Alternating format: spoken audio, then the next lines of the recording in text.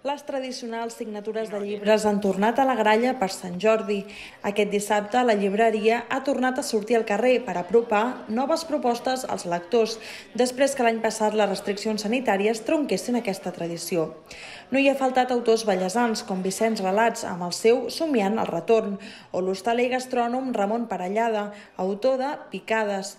Del món de la cuina també el primer llibre del forner de l'Ella, els youtubers Josep Maria Manyer i Carme Julià. L'editorial editorial ens va venir a buscar perquè tenim molts seguidors i ens van venir a buscar perquè féssim, els hi féssim un llibre. I la veritat és que estem molt contents perquè ha tingut molt d'èxit. Ja anem per la segona edició i ha sortit fa dos mesos. Molt, molt contents, la veritat. No ens esperàvem a la nostra edat tenir aquest munt de seguidors. Tenim 450.000 seguidors a YouTube. Una altra de les novetats editorials d'aquest Sant Jordi és Remogudes, el primer llibre de ficció per adults de la consultora de criança Míriam Tirado. Trec dos, val? ara per Sant Jordi. Un és infantil, és La font amagada i tracta de com reconnectar amb nosaltres mateixos.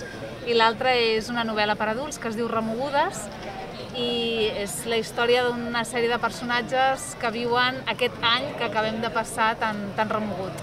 Aquí la infància va marcar per tota la vida és a Usman Omar. L'activista ganès presenta ara Des del País dels Blancs, la segona part de Viatge al País dels Blancs.